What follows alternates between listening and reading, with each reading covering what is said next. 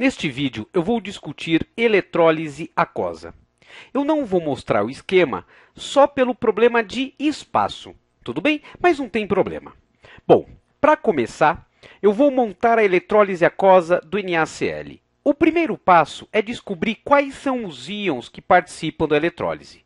Então, NaCl em solução, ele vai dissociar em Na aquoso mais Cl menos aquoso.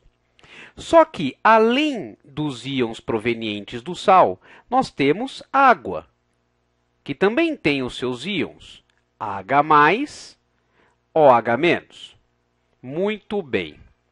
Esses são os íons que existem numa solução aquosa de NaCl. Bom, equações. Então, vamos lá. Polo negativo. Quem vai ser atraído para o polo negativo? São os cátions, Na+, e água, que eu vou representar por H+. Tudo bem? Legal. Agora, quem vai reagir? Quem é que vai receber elétron? Bom, apenas um deles é que vai reduzir. No caso, é quem tem o maior potencial de redução. Como a gente não tem o potencial de redução, então para descobrir quem é que vai reduzir, a gente tem aqui uma tabela de prioridade de descarga. Prioridade de descarga do cátion. Então, olha só, quem não descarrega na presença de água, isso é importante. Quem estiver à esquerda. Então, família 1, que é lítio, sódio, potássio, por exemplo. Família 2, magnésio, cálcio, por exemplo, e alumínio. Esses cátions, na presença de água, não descarrega. Então, nesse caso, sódio. Sódio é do grupo 1. Então, o sódio tem uma prioridade de descarga menor que a da água. Então, quem vai reagir vai ser a água. A descarga da água eu posso representar pela descarga do H+. Então, como vai ser? O H+, que é positivo, ele vai receber elétron e vai se transformar no hidrogênio. Mas a gente sabe que a substância simples hidrogênio é o H2. Então, H2 balanceando 2, 2 aqui. Então, no cátodo, polo negativo, é produzido gás hidrogênio. Legal. Polo positivo. Quem vai ser atraído para o polo positivo? São os ânions. Então, no caso, Cl- e OH- que vem da água, tá bom?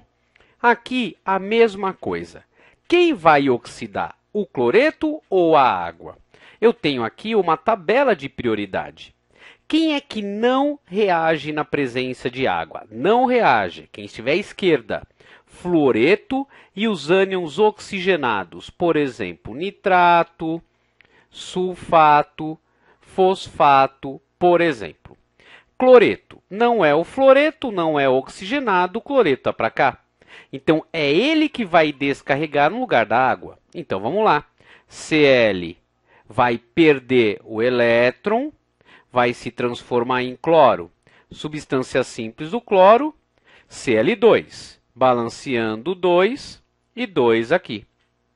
Então, na eletrólise aquosa do NaCl, eu tenho gás hidrogênio sendo produzido no cátodo, no polo negativo, e eu tenho gás cloro produzido no ânodo, polo positivo. Além de hidrogênio e cloro, existe um outro produto dessa eletrólise. Qual? Olha só, inicialmente eu tenho isso daqui no meio. O cloro está desaparecendo. O H+, também. Então, além do hidrogênio do cloro, a eletrólise aquosa do NaCl produz hidróxido de sódio, soda cáustica. Tá? E é, na verdade, esse o processo industrial de produção de soda cáustica. Tudo bem? Então, a diferença da ígnea para a aquosa é que na aquosa a gente tem que consultar para ver qual íon vai descarregar tá? E detalhe, em muitos casos aparece a descarga da água. Só que a descarga da água a gente está representando pela descarga do íon proveniente da água, tá? Porque é mais fácil, é mais simples. Segundo caso, solução aquosa de sulfato de níquel. Eu quero as equações. Então, vamos lá. Primeiro, vamos descobrir os íons. Sulfato de níquel 2 vai dissociar. Níquel 2 mais, mais SO4, 2 menos. Além disso, eu tenho a água.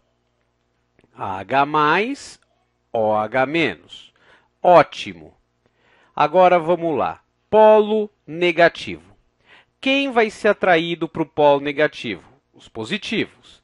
Quem reage? Bom, vamos lá. Níquel não é do grupo 1, não é do grupo 2, não é o alumínio. O níquel está à direita. Então, quem vai descarregar é o níquel. Então, vamos lá. N2+, se ele é positivo, ele vai receber elétron e vai se transformar no metal níquel. Então, no cátodo, eu tenho a produção do níquel metálico. Polo positivo. Quem vai para o polo positivo são os ânions. Agora vamos ver aqui. Sulfato. O sulfato é um ânion oxigenado. Hum. Então, quem vai descarregar vai ser a água, que eu vou representar pela hidroxila. É a hidroxila que vai reagir.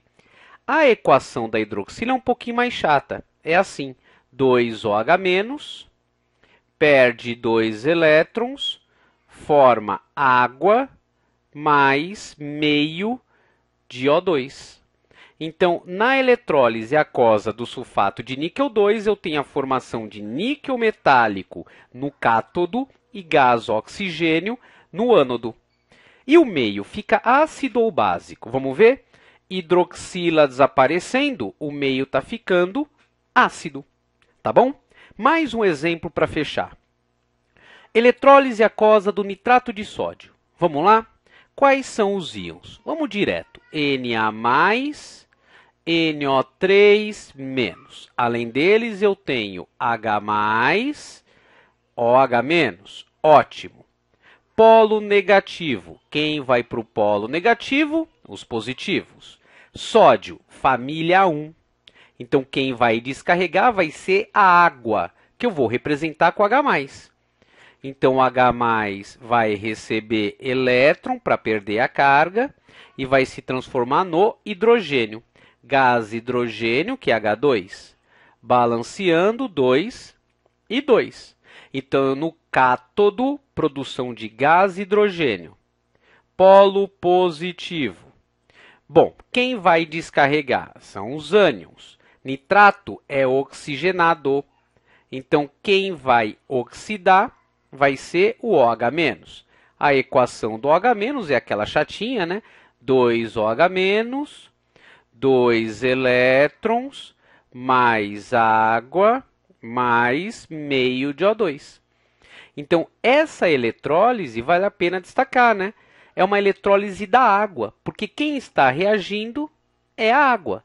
É o que a gente chama de eletrólise da água, tá? Faça um exercício então.